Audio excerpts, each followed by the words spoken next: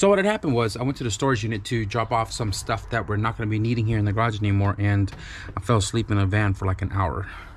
What is going on you guys? Welcome back to the channel man. Today we're going to be working on the EF sedan. I've kind of worked on it the last two days off camera to button up a lot of the mishaps that we ran into on Saturday for the dyno day which the car didn't make it to the dyno but uh, I think we're pretty good where we're currently sitting at with the car and I'm ready to move forward. You guys probably noticed my battery was always on the passenger floorboard because I wasn't ready to, um, you know, mount the battery at a certain location yet because I wasn't entirely sure where the battery was going to go. Typically, I put it in the trunk uh, with the fuel cell on its own bracketry system. And uh, I'm thinking like ahead of time here that a lot of the tracks that are nearby to me are really specific to NHRA rules. So if I have the battery in the trunk inside the cabin. I would need a kill off switch and all of that um, you know safety equipment stuff. But if it's outside of the car you don't need it. And i think this time around i'm going to put it in the front passenger bumper corner because the sedan is a little bit longer so we have the space to do so. Having it in the front bumper is going to eliminate like a ton of battery cables running all over the place especially through the carpet all the way to the trunk and all that. I'm trying to eliminate having to do all that and just utilize what i already have instead of buying new material. I do have have a bunch of zero gauge um, power and negative. Same thing just different color but like in short sections. So i rather utilize that than to buy a 10 foot which then you know 100 plus dollars for the kit and stuff. But uh, anyways i wanted to build a battery tray today. Um, before coming home before the storage before home depot i went to the homie kelly builds house to pick up a bumper.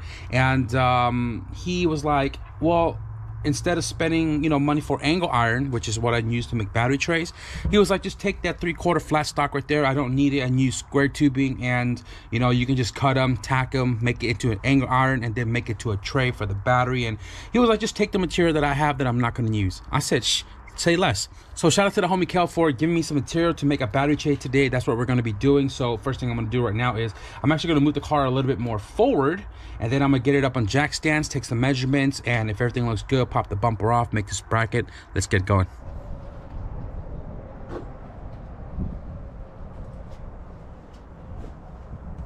I did mess with my ride height a little bit and I got it to where I want this to be. Reason for that is because I don't want to go super slammed because my engine is on the second setting, the low setting on the motor mounts and the pants is really low. And if I ever run slicks later down the road, the gap is going to make sure that I clear the slicks instead of chopping it. And also shout out to the homie Eric because he did take all eight of my wheels to switch out the Nitto Neogens for the ATR uh, K Sports. So we have some R compounds on here now. And the uh, Neogens on it before was 205 50 15, brand new right here. Now on my slipstream.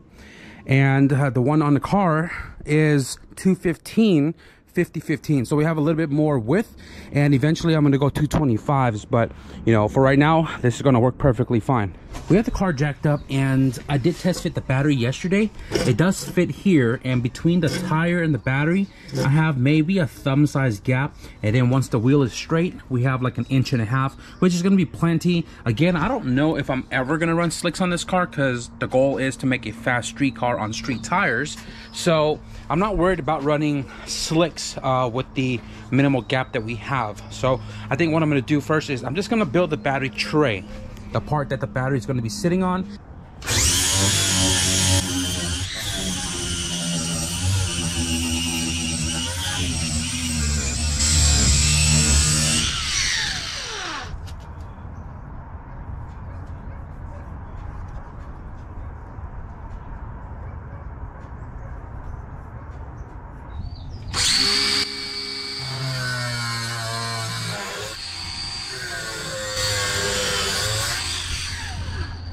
We have the four sides cut out. These long ones right here are nine and a half and then the shorter ones are four and seven eighths. The battery I'm using is the typical Honda 51R or 51 depending on the battery post location. And uh, right now I'm gonna go ahead and get this all squared up tack it in place and then we'll build our bottom to get this to be angled to give it more strength and structure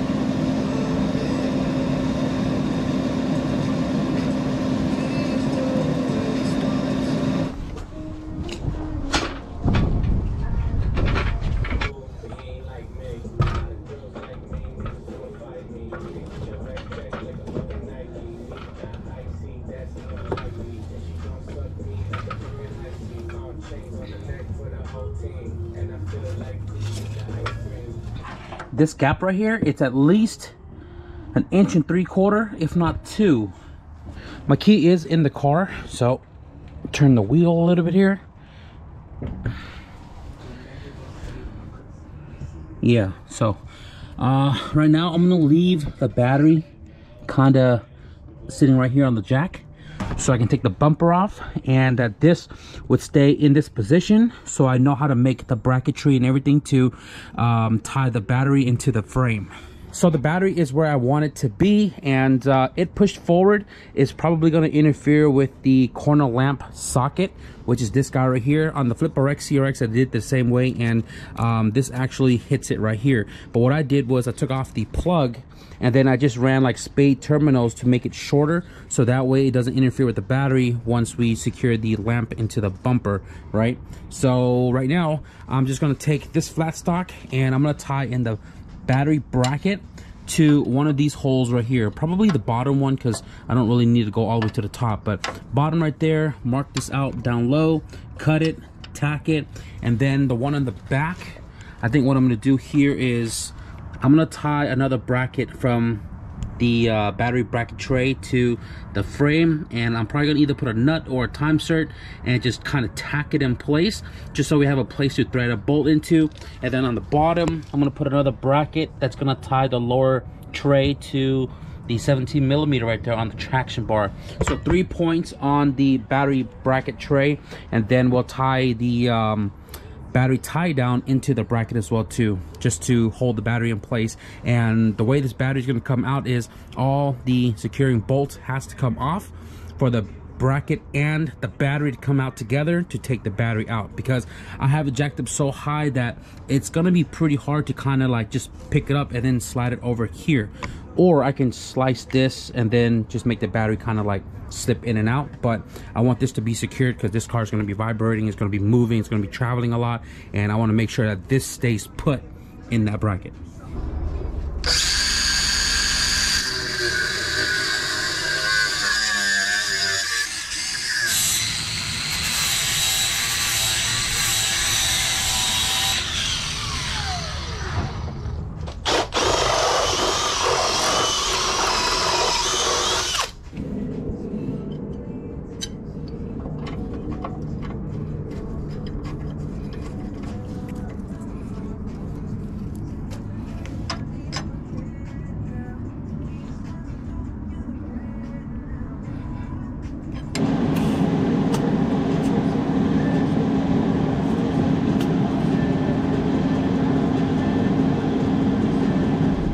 this is all the flat stock that I have left. So I'm gonna make the bottom bracket and then tomorrow I'm gonna buy more material to make the third one here. So I need a Z style bracket here to weld onto the tray and then bolt up to the 17. 7 eighths on both sides here. It's like one and a quarter. So one and a quarter and a quarter like that. We're gonna go two inches, give or take two inches this side. So slice here, bend it, slice here, bend it, cut this right here to give us the two inch, and then this should be the Z that I'm looking for.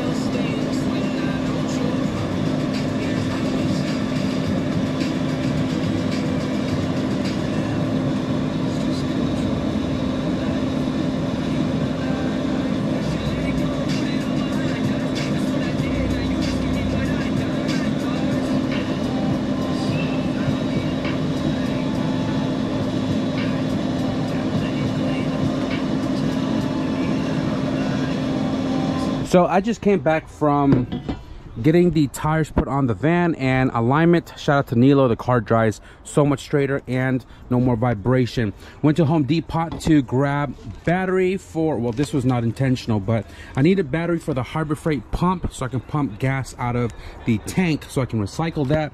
I also grabbed hose clamps from home depot because um, one they're cheap two they're high quality and um, i ran out of the ones for the radiator hose. So i just grabbed two more just in case. And then uh, i grabbed some three inch here for like when i uh, measure up three inch tubing mark it up and then cut it up. Because the ones that i have um, are much larger or they're stripped out. So now i have some new ones. I also grabbed some cutting disc from Home Depot as well too because one these last longer than the Harbor Freight. Two it's thinner so it doesn't take long to cut um, say it's stainless steel or um, flat stock. But I grabbed two of these and just to you know add to my collection although I was fortunate to just have one disc work the entire way of making this battery tray. And uh, I got some more flat stock here. So this right here is the bracket we welded up last night and uh, I entirely welded this. I was just going to stitch it but I wanted it to have some strength. So all these side edges I fully welded it up. Um, originally when I did the um, tray itself I stitched it. You can see right there right? But the um, supporting brackets I welded it entirely. So that's fully that is fully secured and uh, I am going to be making the last leg on this side where the tire goes and then we'll uh, get this thing all painted up. I overlooked this last night. There's a threaded 10 millimeter hole right there that I can use. It is a little low, but I think with this one and this, it's already sturdy, right? And to have this side have a bracket up, I think it'll be perfectly fine.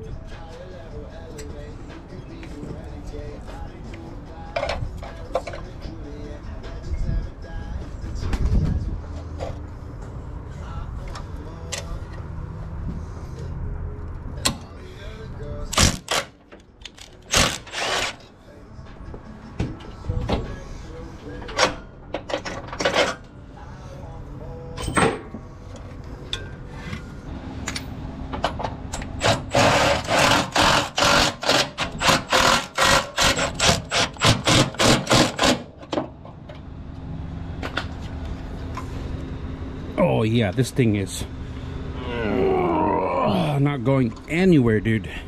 Holy Macau. I'm 300 pounds, dude. Check this out.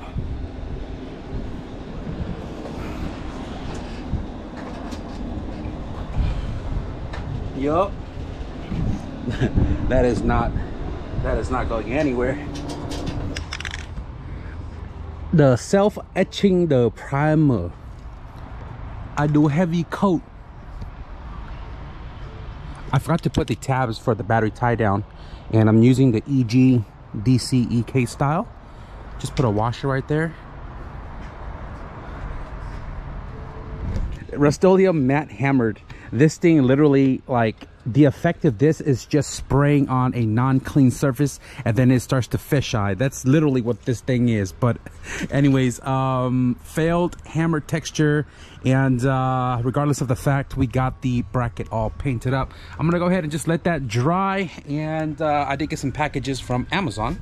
Got this battery tied down right here that came in the po box and uh, we're to be using this to secure the battery onto the tray which is what the washers were for. I already test fitted to make sure that we have space for for it, but the package is from Amazon. We have one, two, and three packages. Let's go ahead and show you guys what we got inside. This right here is what we need to finish the battery relocation. Set it away from yourself, not towards yourself. Look how look how look how easy that sliced. Scary.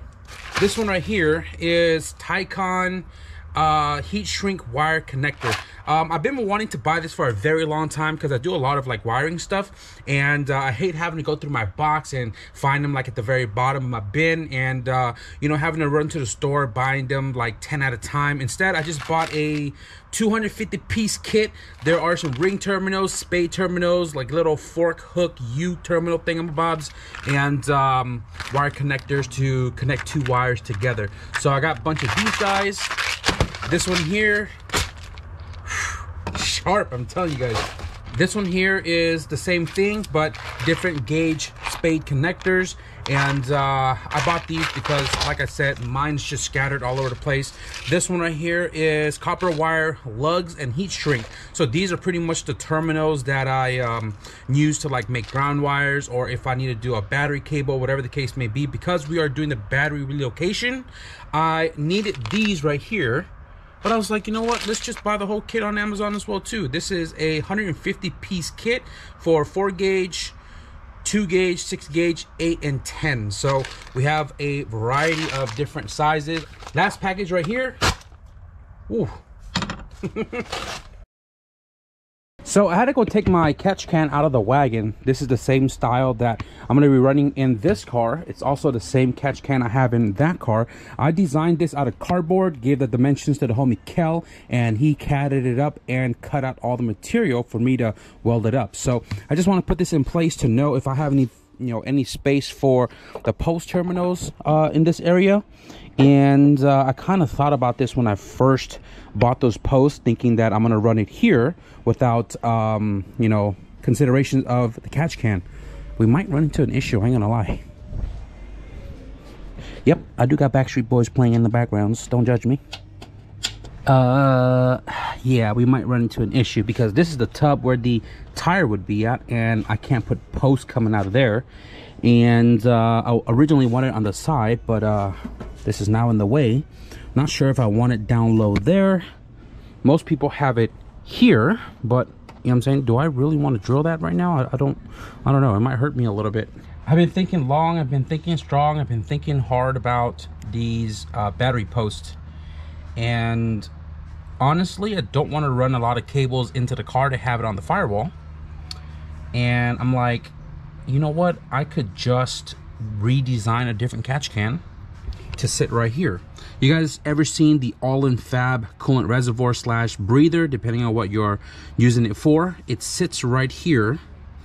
And uh, I'm thinking of building one for this corner so we can open up this section to run the post. Mm. I think that might be the move. So we got the battery secured on the bracket and the tie down. This shouldn't go anywhere. It's pretty, it's pretty dang firm. A little tight on the rod itself, but I think we're gonna be okay. Shout out to Chris, when he sent over the K20 conversion harness from CJS Wiring, he did send over this ground cable as well too. So this is gonna be easy for the negative side of the terminal goes onto the battery and then I'm to tie this right here into the ground that's already grounded out on the chassis right there. This strap right here is also a CJS ground cable. I might end up making the ground from here, this hole, to the post terminal so that way we don't have a bunch of lines on the uh, connection right here to the battery.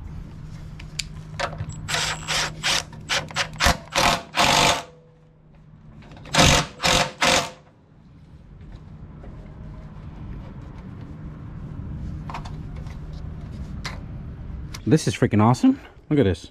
Freaking broke off. I had to go through my box to find a terminal. This is a negative one, but technically the same. This one uh, is a crimp-on style. Uh, let me see. This one is a crimp-on style. This one's a crimp-on style. So we're just gonna make do with what we have. So this right here is the positive, and uh, set you guys up. So right now the battery tray is not fully connected, but just enough for us to get the terminal on, right? So it goes on right here. Negative is off, so we're not gonna shock the chassis, but uh, this is gonna have to go a little crooked because we are gonna go close to the bumper. And then this is gonna go up to the positive, whichever um, hole we're gonna put it at. And then this one right here is gonna go into the car. So we're gonna loop it all the way up away from everything and then run all the way inside the car. That is the plan. So I think I'm gonna pop the fender off just to make it easier to run the cable up there.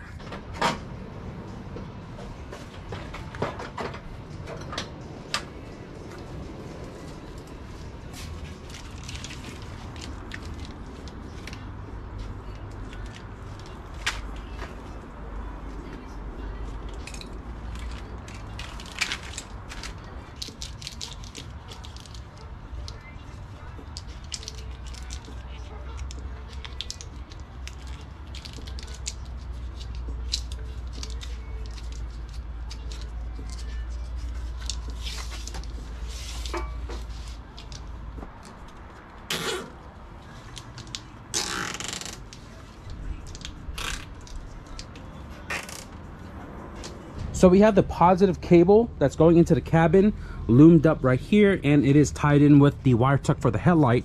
Goes all the way across and then it goes into the grommet for the door plug right there. And uh, i'm gonna let you guys know now this hole goes directly into the cabin and uh, you know people would think oh it's easy to just go right there. Problem is this right here is in line of the gutter for you know raining season. So when water comes down the cowl puddles up here goes through drizzles here straight down to the floor. If you run anything through this hole without sealing it water's going to get inside. You're going to have an electrical issue. Ask me how i know I trimmed this grommet right here to fit the two harness coming out of it nice and snugged and now we're to move on to the charge post. Uh, this one right here is for that. Probably use this one for the positive and then probably drill the one to the left of it for the negative. I think I'm okay with putting holes on this side of the frame because if I didn't like it or if it bothered me I can always put a catch can there and you won't see it. If I did it on the firewall it'll bother me if I decide I wasn't going to use it or whatever the case may be I'll have two damn holes there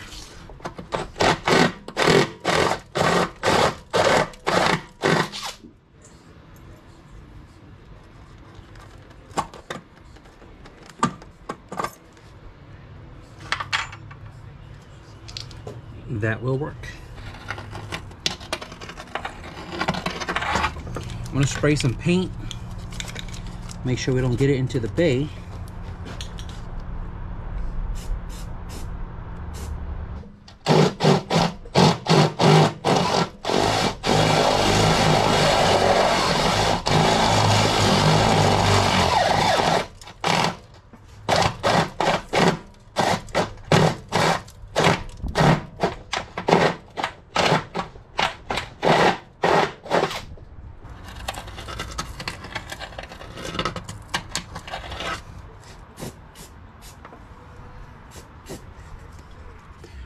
To you guys, this came from Amazon and I've compared this from Amazon and the one from Summit Racing.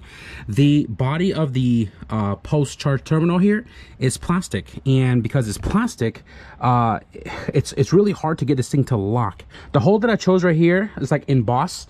It's like sticking out of, of the uh, frame right there, right? You can see how it's like a like a little lump.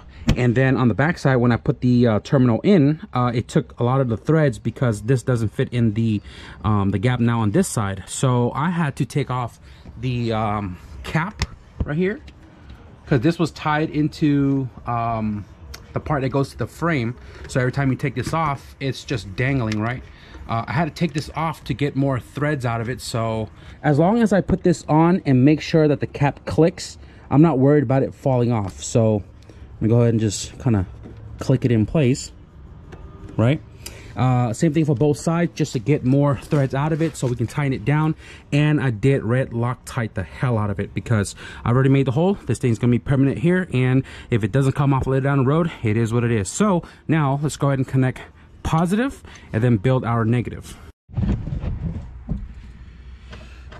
I broke my DIY bead roller slash crimper. Go ahead and slip the black shrink tube because it's for ground, right? Chop off about, I don't know, half an inch, right? Pop it off. Grab the terminal here that's big enough for a 12 millimeter you know just gonna use my regular butt connector crimp because it works too.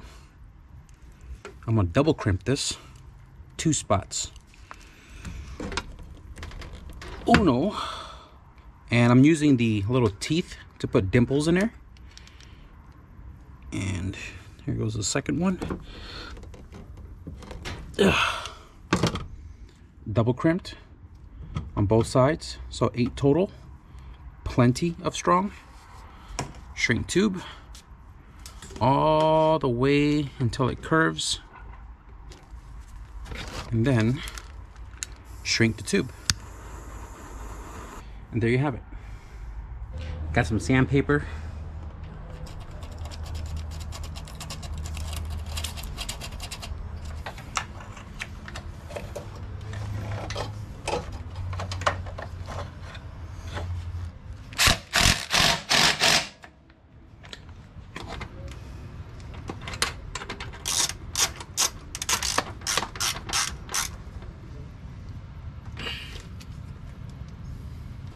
So I make sure my post here has continuity to ground. And same goes for the positive. Put this on the battery. Post. Yes, sir.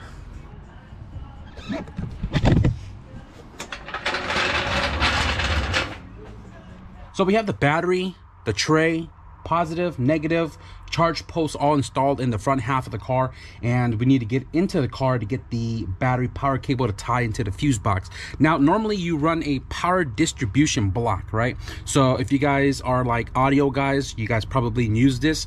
Um, it looks like this right so power distribution block is like this. You put a big power cable coming in and then you can bridge off of it to feed power to wherever uh, needs power. Alternator, starter, power for accessory, whatever the case may be. There are ones that has fuses like in line. So like say this one right here this one has fuses in line and stuff like that but um, realistically from the factory there is no fuse in line it literally goes from the positive post of the battery, starter, and then fuse box. So what I'm going to do, because I don't have a power distribution block, I'm gonna do some hood rat shit. So the terminals that are inside the car right now is fuse box and uh, I believe the starter. So what I'm gonna do is I'm gonna terminate the starter, the one that goes to the fuse box, right? put them together and then the power wire that's going from the battery into the chassis goes to this one which then I'm just gonna put a bolt on here, tie all three of them together as a distribution terminal, electrical tape the shit out of it, and that should work like it's supposed to. And then when I get a distribution block, we'll distribute it. Um, you can get ones with stud and a nut, or you can get one that has Allen keys, like this one I just shown you guys, right? Then you don't need the terminals. But because I'm going to terminate these now. i will get one that has a post and a nut. So I'm just going to go ahead and knock this out real quick. So I have my power cable from the battery tied into my starter and the fuse box. And uh, it is kind of taped up a little bit there. But anyways, um, I want to test out the alternator, make sure we are charging um, sufficiently. And uh, we'll wrap it up, put the entire front and back together. So and go ahead and uh, connect my ECU here. Let's go.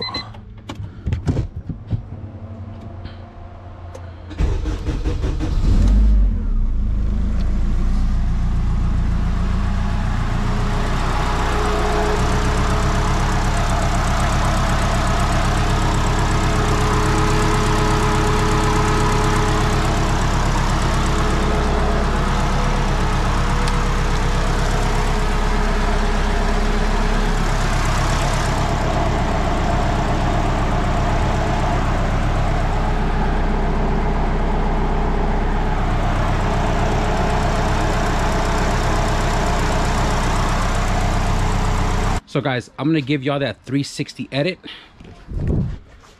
Bam.